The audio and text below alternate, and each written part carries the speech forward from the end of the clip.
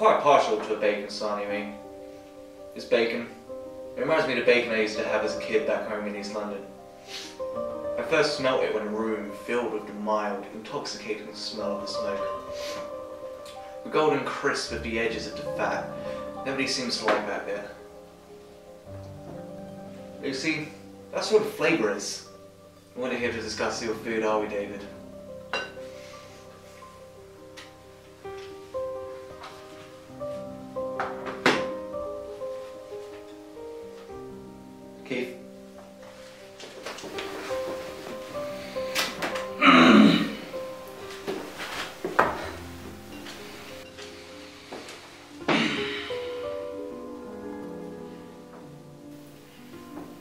You come into my house.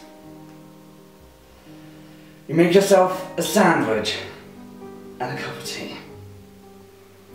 You pull out a gun on me, and the only real question here is what the fuck do you want? This isn't about money or drugs. That was business. Those are the kind of things we used to get up to as a kid. This is more. We're older now. We've moved on.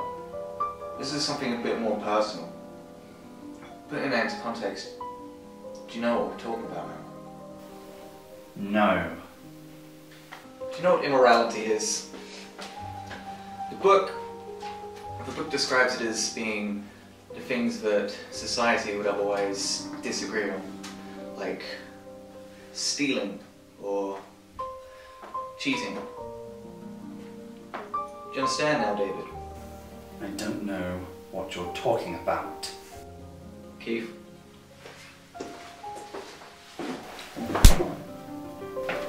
Don't lie to me, David. I'll give you one more chance to tell me the truth. I don't know. My wife, David, my wife. For Christ's sake, we were family and you slept with my wife. You destroyed our marital vows. Hmm. She is part to blame. She can't get off scot free while I'm here being fucked up by you and your henchmen.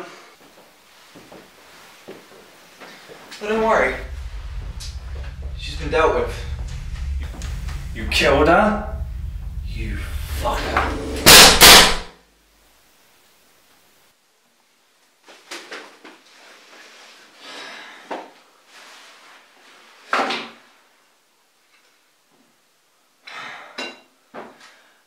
Did like him.